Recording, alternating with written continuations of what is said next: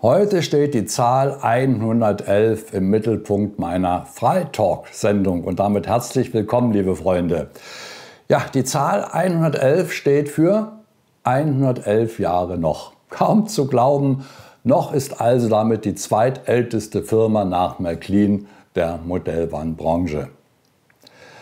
Als Oswald Noch im Jahre 1911 in Glauchau eine Klempnerei gründete, sah es verdammt noch nicht nach Modellbahn aus. Erst als sein Sohn Erich nach erfolgreichem Studium der Elektrotechnik ein kleines Tochterunternehmen der Klempnerei eröffnete und Elektroartikel verkaufte, begann die eigentliche Geschichte des Modellbaus bei Noch. Klingt schon ein bisschen irre, aber es geht noch weiter. Zunächst häuften sich vor Weihnachten die Anfragen, ob der Elektriker nicht einige Modelleisenbahnen reparieren könne. Hm. Woraufhin er damit begann, in seinem Laden, man höre und staune, Lokomotiven von Märklin zu verkaufen. Als Erich noch im Jahre 1936 den Schreinermeister Ernst Hecker kennenlernte, der kleine Häuser für Modelleisenbahnen baute, war es dann passiert. Die Firma Noch wurde zum Modellbahnhersteller. Doch bevor das Unternehmen richtig anfangen konnte, eigene Produktionen auf den Markt zu bringen, durchkreuzte der Zweite Weltkrieg die Pläne des Unternehmens. Nach dem Kriegsende begann das Unternehmen für wohlhabende Kunden aus Gips und Holz individuelle Modellbahnlandschaften herzustellen.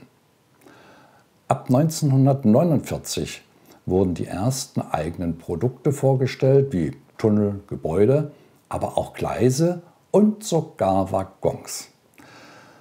Doch in der jungen DDR drohte der Firma die Verstaatlichung. 1956 packte also Erich Noch und seine Familie die Koffer lösten die Firma in Glauchau auf und flohen in den Westen. In Maisach bei München begann die Familie dann, das Unternehmen wieder aufzubauen. Das Sortiment wurde in weiten Teilen beibehalten, lediglich auf die Waggons wurde verzichtet.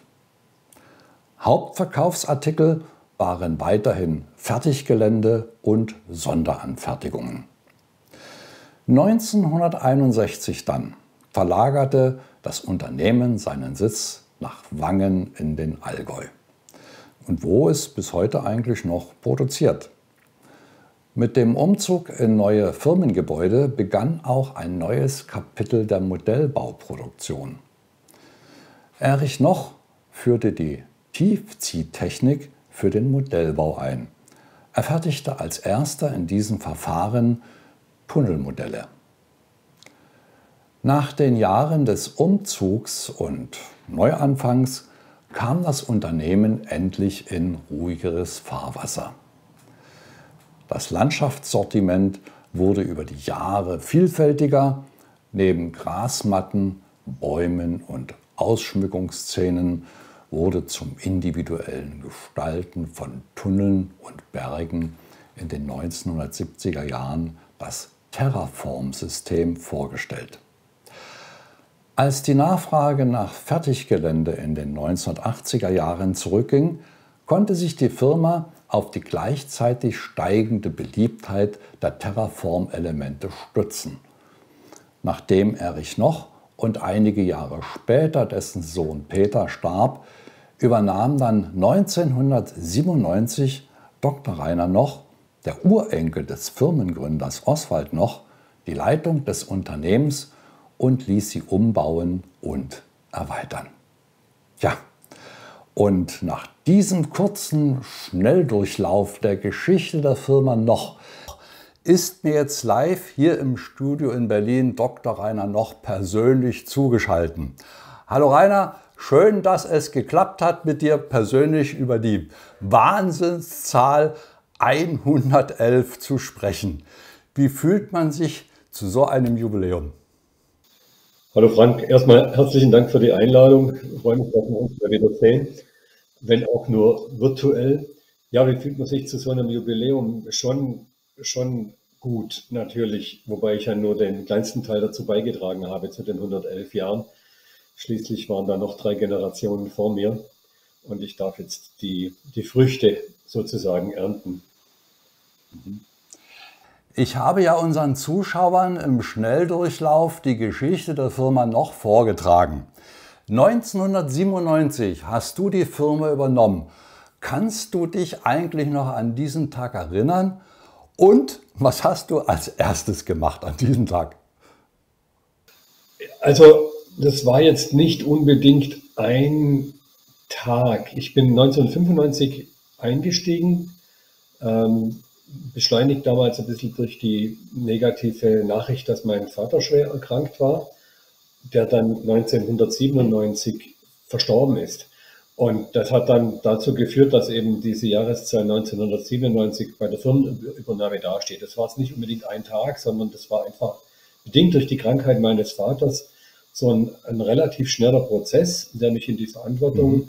gezwungen hat. Ähm, und ja, nachdem der Vater gestorben war, war ich dann eben allein in der Geschäftsführung. Mhm. Ähm, es war eine sehr, sehr fordernde Zeit, kannst du dir vielleicht vorstellen.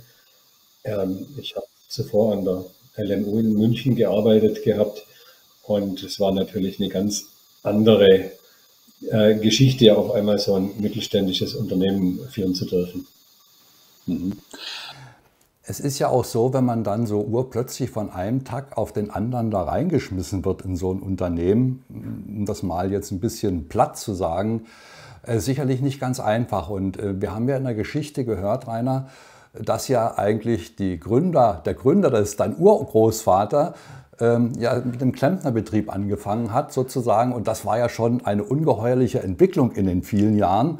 So, und auf dir stand nun oder auf dir ruhte nun die Last, ähm, äh, sozusagen das, den erfolgreichen Kurs äh, fortzusetzen. Denn du hast ja in den vielen Jahren äh, einen guten Namen gemacht. Die Firma steht prächtig da, die Firma noch ist wer in der Branche und ich habe mich mal so ein bisschen im Internet recherchiert. Ihr seid, ihr seid eigentlich die zweitälteste Firma, Modellbahnfirma generell hier in Deutschland.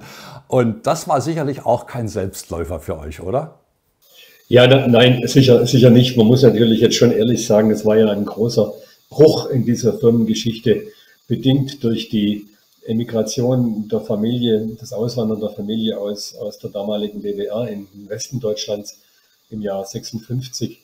Und ähm, da, man kann das natürlich auch böse sagen, das war ja eigentlich eine Neugründung. Seit 1961 sind wir jetzt hier in Wangen im Allgäu. Aber man, man schreibt natürlich so eine Firmengeschichte gerne, gerne fort. Und schließlich haben wir ja jetzt im, im, im Westen dann nicht unbedingt was ganz anderes gemacht wie zuvor im, im, im Glauchau in Sachsen. In, insofern, ja, war schon stolz auf 111 Jahre, aber da waren schon viele Höhen und Tiefen mit dabei, wobei ich das große Glück der jungen Generation habe, dass ich diese Zeit nicht miterleben musste um den Zweiten Weltkrieg und äh, um das Aussiedeln. Das war ja auch so ein bisschen der Tiefpunkt, denn in der Zeit, wissen wir aus der Geschichte, hat ja der ganze Betrieb geruht. Nach der äh, 1946, glaube ich, in der noch jungen DDR, ähm, habt ihr dann euch bemüht, ähm, die Produktion mit bestimmten Dingen wieder aufzubauen. Das ist schon sehr beachtenswert gewesen und dann euer Wechsel 1956 dann in die Bundesrepublik, zuerst nach München, das war ja oder bei München, das ist ja auch nur eine Zwischenstation für euch gewesen, bis ihr dann endgültig im Wangen im Allgäu in dem wunderschönen Urlaubsland angekommen seid. Das ist schon mal eine Leistung, die man erst hinkriegen muss. Und ich denke mal, äh, du hast auch sicherlich eine große Anzahl von Mitarbeitern hinter dir, die auch an dieser Entwicklung mitgetragen haben. Ne? Auf jeden, auf jeden Fall. Also ich meine, dieses Thema Zwischenstopp in München, Maisach war es, um genau zu sein, war familienbedingt, ja. da gab es Verwandtschaft.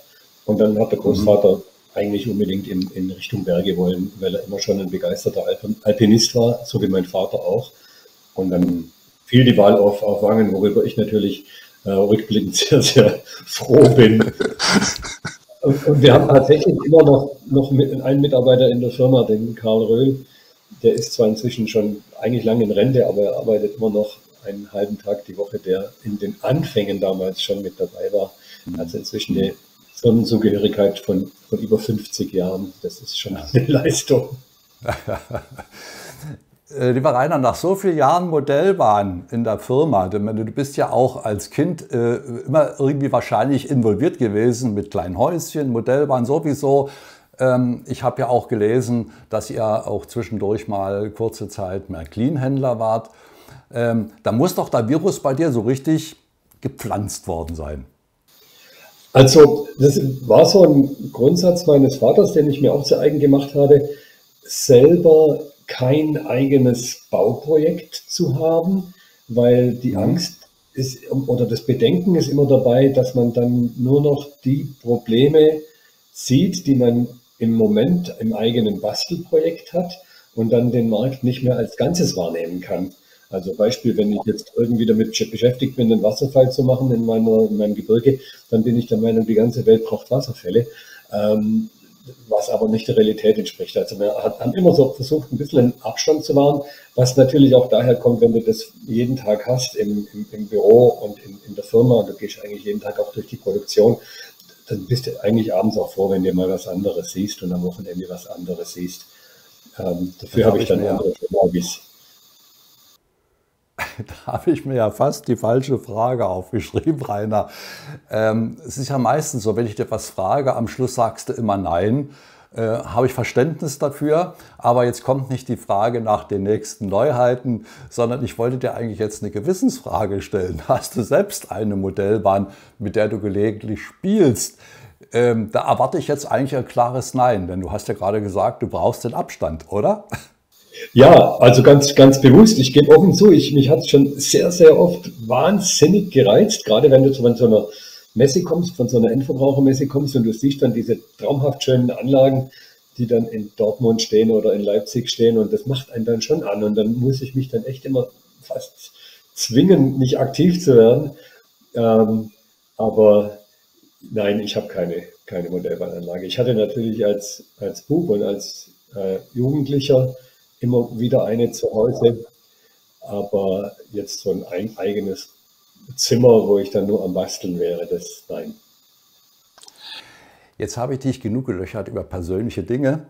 Lass uns zum Schluss noch etwas über das Ereignis sprechen, was ja am 27. 28. Mai von euch groß angekündigt ist. 111 Jahre noch feiern Sie mit uns. Was habt ihr denn nun allein alles für diesen oder was habt ihr alles für diesen beiden Tage vorbereitet? Also im Prinzip öffnen wir, mehr oder weniger das gesamte Firmengelände und die gesamte Firma.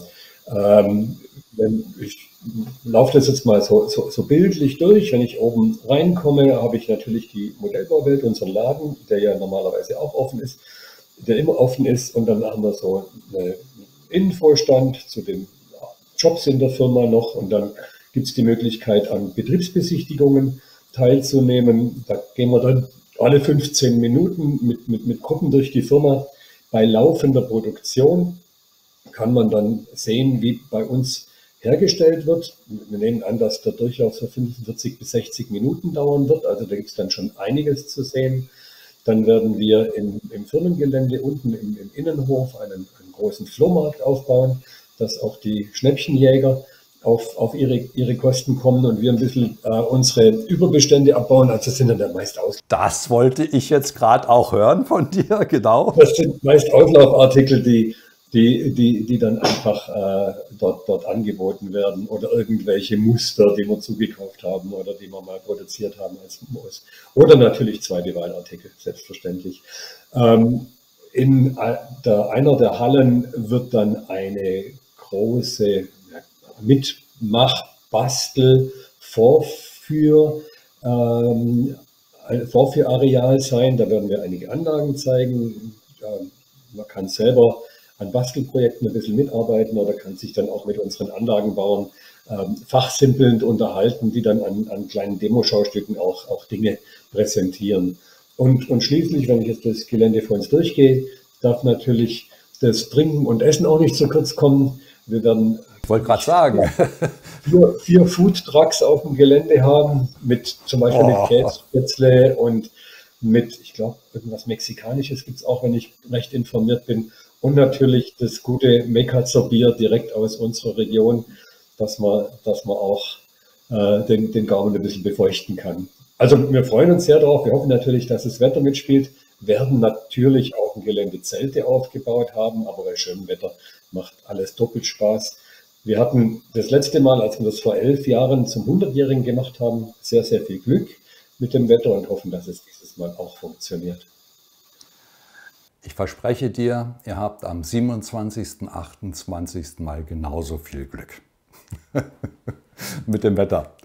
Aber das war ja schon ganz gemein. Allein jetzt die Aufzählung der Food Trucks, die ihr da habt. Also Rainer, das ist jetzt ganz gemein gewesen. Okay, also. Das war, das war Frank, das war das, was, was, was uns beide jetzt am meisten reizt der ganzen Geschichte. Nein, also ich würde sagen, äh, alleine das, was ihr an einem Angebot aufgefahren habt, die Geschichte nochmal in einem Betriebsrundgang live zu sehen, die laufende Produktion, das finde ich eine gute Sache und ich glaube, ihr werdet sehr viel Zuspruch haben. Lieber Rainer, von hier aus und da spreche ich auch im Namen aller Zuschauer, gehen unsere Glückwünsche aus dem Studio hier in Berlin auf die Reise zu euch nach Wangen und wir wünschen euch eine wunderschöne Geburtstagsparty gemeinsam mit den Modellbahnern aus der ganzen Welt, die da anreisen werden. Da bin ich mir ziemlich sicher. Ganz, ganz herzlichen Dank, Frank. Wir freuen uns da schon alle sehr auf das Event. Und ja, jeder, der Lust hat, der Zeit hat, einfach vorbeischauen. Also weiter so und weiter viele tolle Neuheiten für die nächsten 111 Jahre. Mach's gut, Rainer. Tschüss. Ja, servus. Tschüss. So, das war unser Talk heute. Und was habe ich noch? Ein kleines Wortspiel? Nein, klar, ein paar Sonderangebote zum Jubiläum hier und jetzt von mir mit der Artikelnummer 94001, ein Ausschmückungsset Badende und Olivenbäume. Ein wunderbares Thema für den Sommer für nur 15,49 Euro. Und dann haben wir noch mit der Artikelnummer 94002 ein Ausschmückungsset Klogeschichten und Birken für 17,50 Euro. Dann weiter geht es mit der Artikelnummer 94003.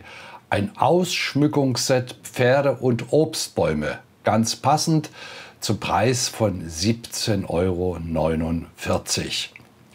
Weiter geht's im Reigen. Ein Ausschmückungsset Tiere, Bauernhof und Sträucher für 15,90 Euro.